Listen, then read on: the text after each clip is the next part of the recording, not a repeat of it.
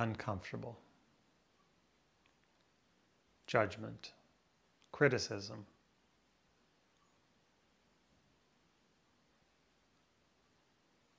Dissociation, ticklishness, discomfort.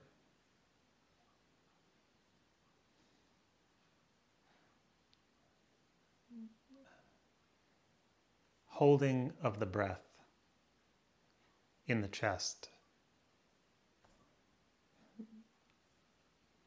Unable to exhale, to relax. Spaciousness in the belly.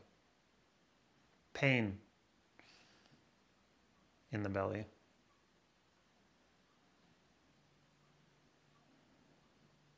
Relaxation in the neck, breathing in breathing out. Hearing the sound of the rain outside on the leaves. Hearing the dripping of water from a drain.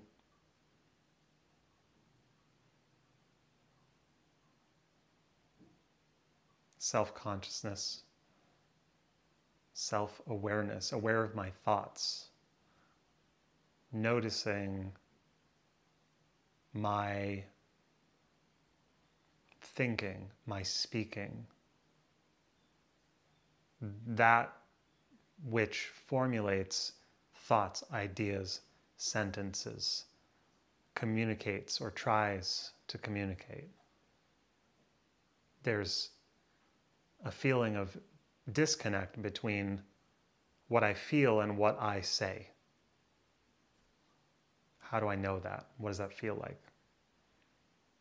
It's unsettled or dissatisfied or just off in some way. It's just a little off. Noticing that I'm slurring my words and that I'm not speaking clearly. Judging. Minor sense of accomplishment but mostly drowned by feelings of judgment and criticism and and just just wave after wave of criticism. It's like my sense of my you know and this is interpretation. This is illustration. My sense of myself is this person that's uh, breathing uh, in the midst of a squall or a storm with just wave after wave crashing over me, judgment, criticism, and I'm coming up for air for a moment. And in that moment, I feel like, ah, I'm good, I'm great, I'm awesome. And then drowned again. But it's like, wait, how do I get out of this? If, if I can stop that time and stop that moment where I am okay, where I am good, how do I get out of it? How do I stay there? How do I um, rise above that um, that sort of torrent of just shame and blame, judgment and criticism? To rise above, and then the thought that that's not that's not the right way to do it. That's wrong. Don't rise above. Why would you rise above? Why would you separate yourself from these waves, from this water, which is where you're being hurt, where you're being battered and bruised, um, and suffocated and drowned? That's the illustration, and that's just the interpretation, that's just the it's the story. And there is a an insistence that the story is important.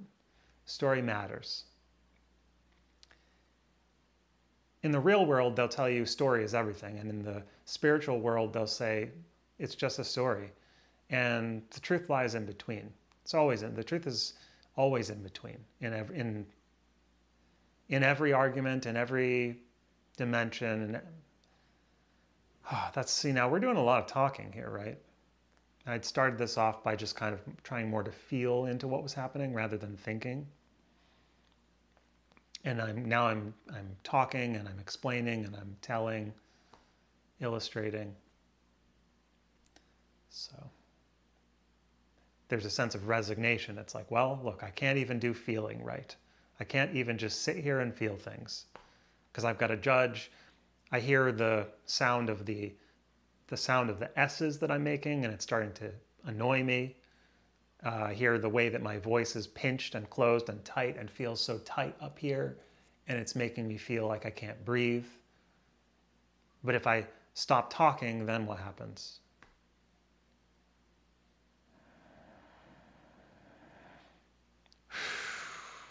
Air goes into my belly.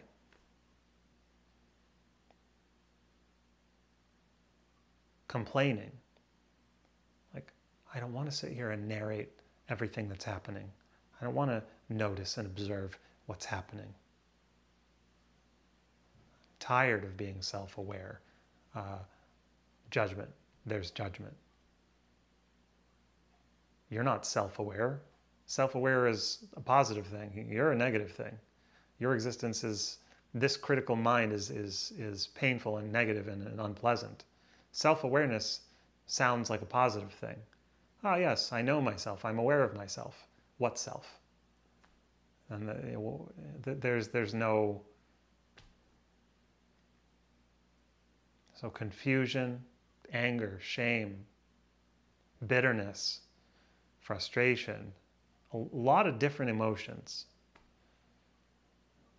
that feels like that that feel overwhelming and like they're turning me this way and that way and the other way. And it's like I can't even find myself or find my center or find um, surf those waves you know?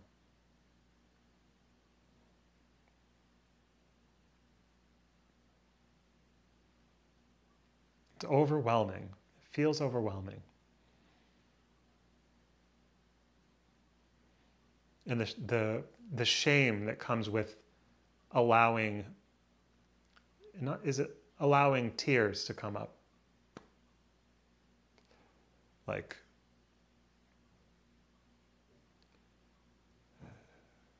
it's, it's okay for others to have sadness and to cry to take care of others when they're experiencing that to support them through that. Not for me. Not for me. I should be beaten every time that I cry, hit.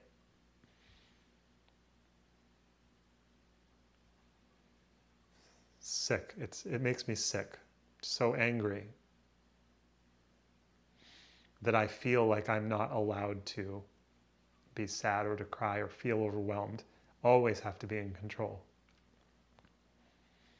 Oh.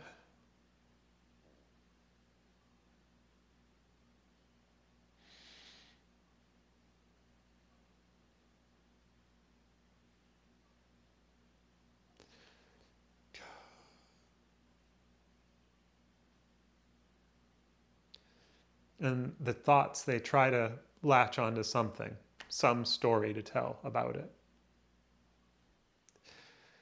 Just to show just to show the emotion without a story. It's like you know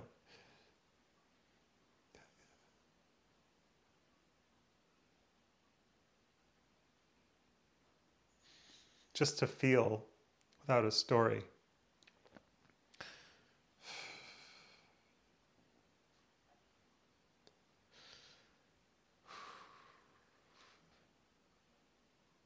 So in this moment, it's like there is some emotion coming through, and there's also a like really trying to hold it together.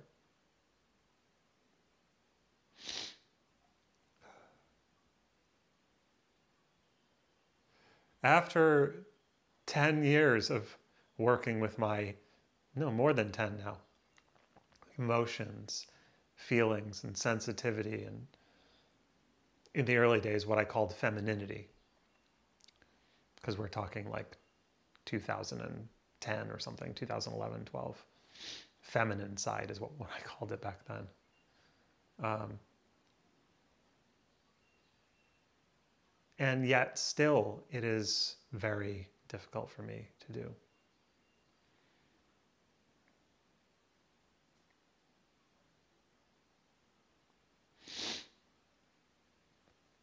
Why? I can care for anyone else. I mean, so far, I don't know if, I don't know about anyone, but so far, anytime when I've been met with another person having an emotional experience, I can have compassion for them and it's it's okay and I help them and they feel helped and supported sometimes. Um, we don't always get it right, but at least it feels like a possibility that there's no shame in doing that.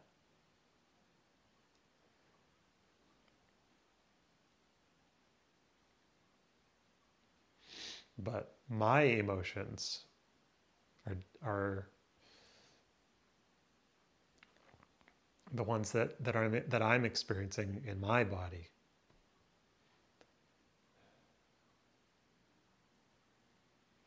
It's so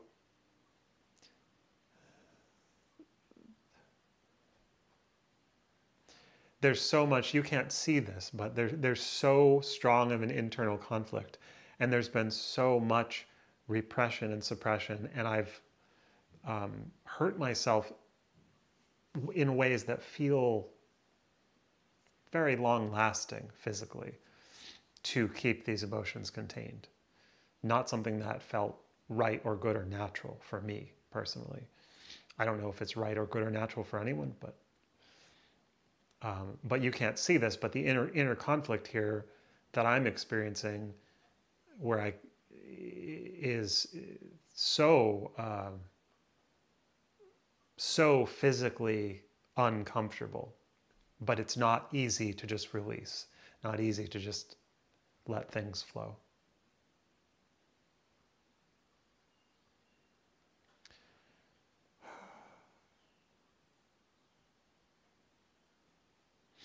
To lose control. Sounds, anyway.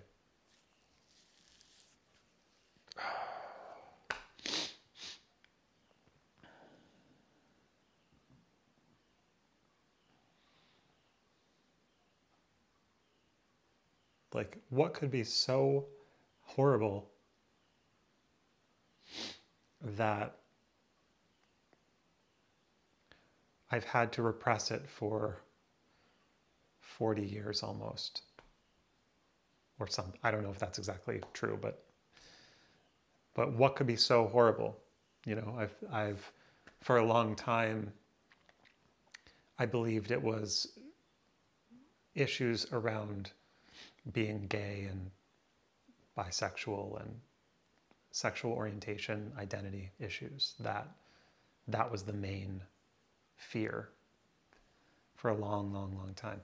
And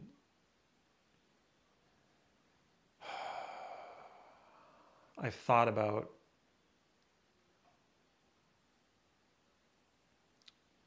what else besides that um, is there anything else that could be so horrible that would be locked down, you know, which is because the you know trying to explore sexuality for me didn't never brought me any kind of aha peaceful um, reconciliation with myself. And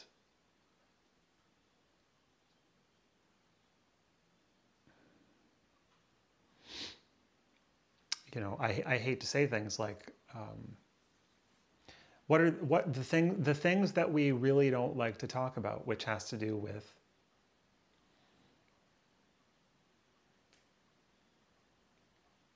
abuse, which has to do with violence, um, whether we've been abused or we've been an abuser, and or both. Um, the And these are just, it, there, there's a there's a real um, a real fear of what can be revealed. You know, we have there's certain things we have to keep secret, right? For a long time, sexual orientation that's something you also had to keep secret. Now, not as much. Depends where you live and what time you live, what era you live in. But there are certain things. There's always something that's taboo, right? There's so many things right now that are taboo that are you know are shameful, but there are certain things that are it de- it's such a such a complex topic but what what is mm. so people will go to therapists right and or priests or whatever and confess things they'll say oh well i did this bad thing or i'm a horrible person because. And depending on what that is there's some level of confidentiality that happens within that and it's absolved in some way or it's resolved or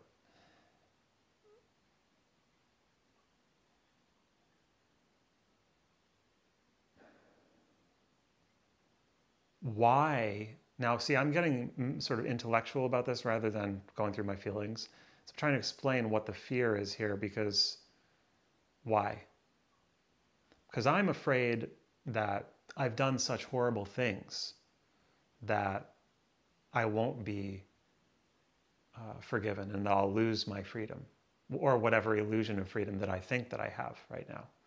Um, now, in my memory, in my life that I've lived, and I've lived around people who've been with me the whole time and seen me. So, to my knowledge, I haven't done anything horrible like murder, like rape, like other kinds of even more unusual abuses that happen. And I say horrible as a judgment because we've societally, we've judged that as horrible. Violating someone's boundaries forcibly to that extent, horrible, right?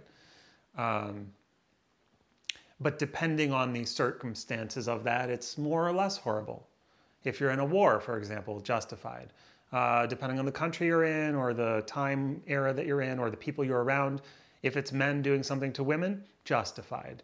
Um, even if they're underage women, it can be justified depending on the community you're in and how they're protecting people.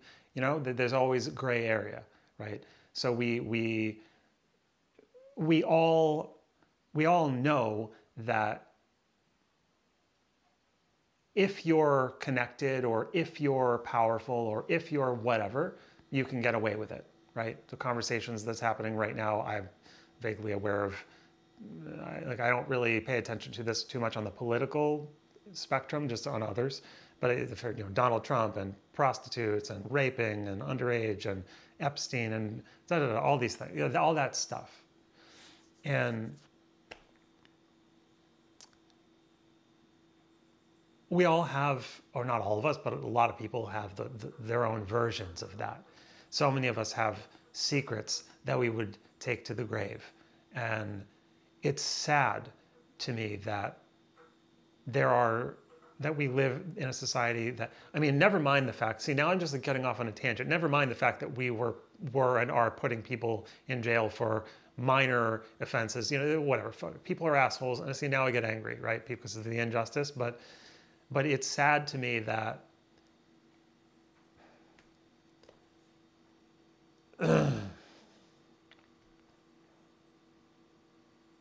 anyway, now this now this is feeling like a defense against feeling my feelings because no one wants to be the one to do that. Um, especially when you're the one on the perpetrating side, because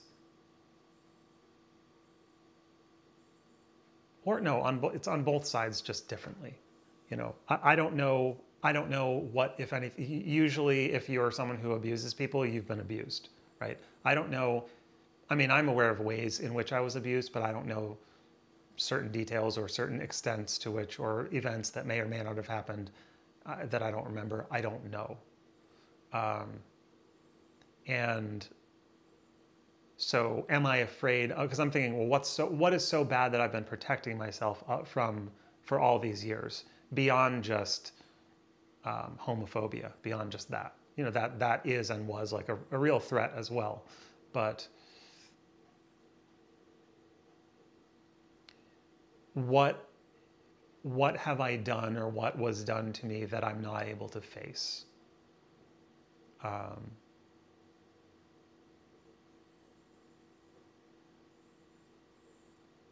and the fear of letting all the emotions come up and then revelations of past events. That's the fear. And doing that alone. Um,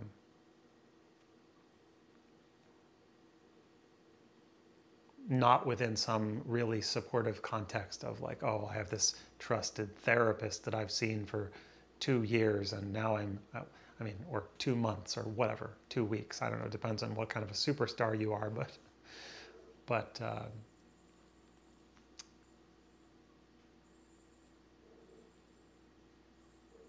I mean, reconciling reconciling the fact that, like, say to say you have been abused is one thing, and then reconciling the fact that you have abused someone else is another thing. And on depending and on what level have you done that, you know, and um, and was it your fault or not? Uh, well, you know, that's. Uh, and I don't have anything personally. I don't have anything in mind. I don't have a specific thing that I know about that I'm thinking about. So I'm saying this kind of like vaguely, but really I don't know. And is there something or not? Or am I just afraid of feeling, just in general? And is this all this talk of what I might have done or what I might not have done or what someone might have done to me or might not have done? Um, is that just defense against what's actually happening? And am I making it out to be worse than it actually is? Or maybe I'm making it out to be better than it actually is? Doesn't matter. It's the feeling that is the primary thing that that is scary.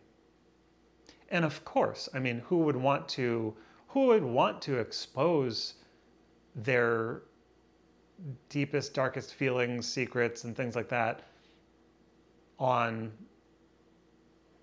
social media, public, forever. And yet, well, I've always believed that it is our secrets that make us sick and on an individual level, that's I found that to be true from the time when I was a teenager onwards. And I also just feel like that as a collective society, it is our the underbelly of all the hidden um, the dark side that is held in a certain balance of light versus dark that makes us sick is the way we hold it and the way that we are not able to accept it because we do things that are bad all the time, every single day. It's happening right now. And it's so easy to try and just hop onto, oh, I'll just be on the light side and I'll just fight against the dark side. You know what I mean? And, and even if you have a, inherent understanding of that you're just playing this game and you're dancing and you're part of it and you you know we all have our roles to play there's still can be a preference for the light side versus the dark side and superiority on about that and preference for having freedom versus being imprisoned um, preference for having freedom versus being punished and the punishment oftentimes just doesn't fit the crime anyway. So avoiding, trying to avoid that injustice, but it, it's, it's such a, to have to accept that whatever role that I'm playing, I'm playing, and, and I'm going to be part of that. You want to believe that you can make a choice. You want to believe that you can, from this moment, choose the right path or the positive direction and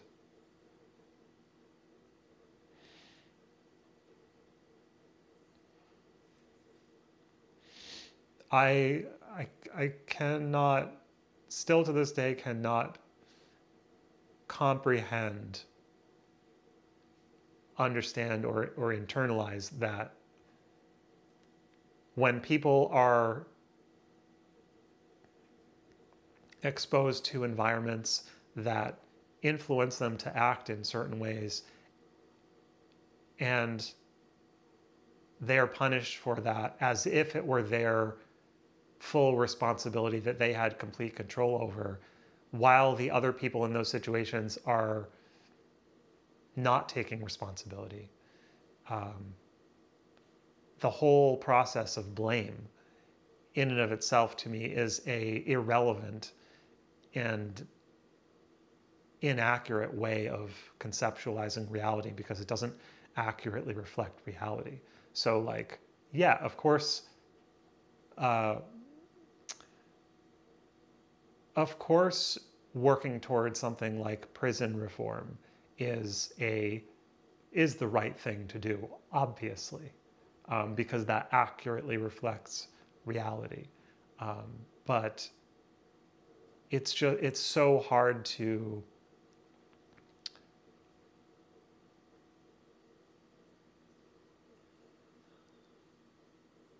acknowledge that just inherent that injustice or unfairness uh, that we perpetrate unto ourselves. It's one thing to be,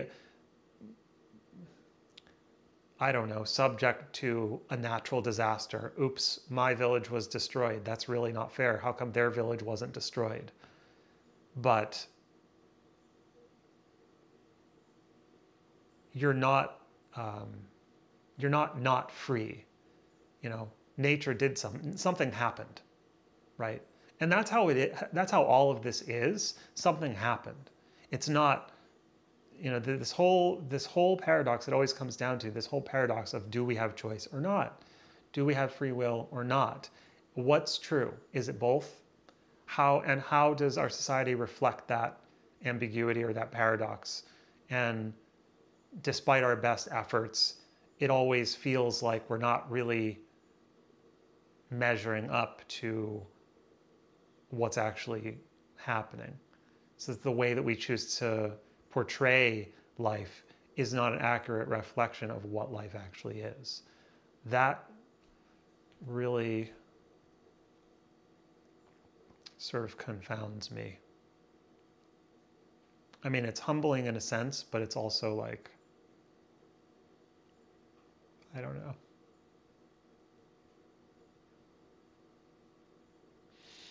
Actually feeling it to me is the hard part. Because my mind, it's like, well, just do something about it then. Because talk is cheap and feelings don't matter. Only action matters, right? Only, only what you do matters. Only your deeds um,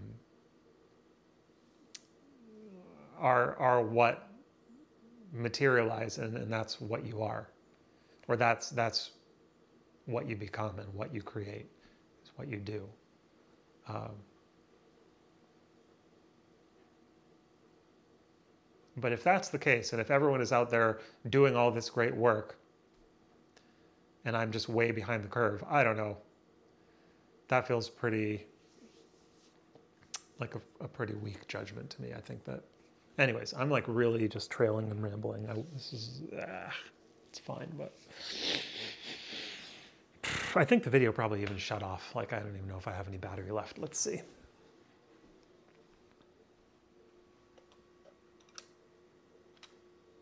Yep, it's about to die. Oh, okay. Gotta turn it off now. Bye-bye.